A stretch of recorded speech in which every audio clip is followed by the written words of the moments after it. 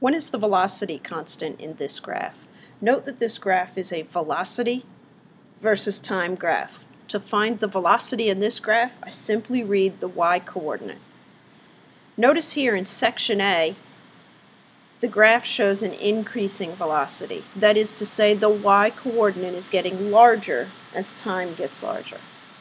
In section B, this is a case of constant velocity. The velocity, or y-coordinate, remains at 20 for the entire duration of this segment of the graph. Here's an example of a decreasing velocity. The velocity numbers are approaching zero until 70 seconds.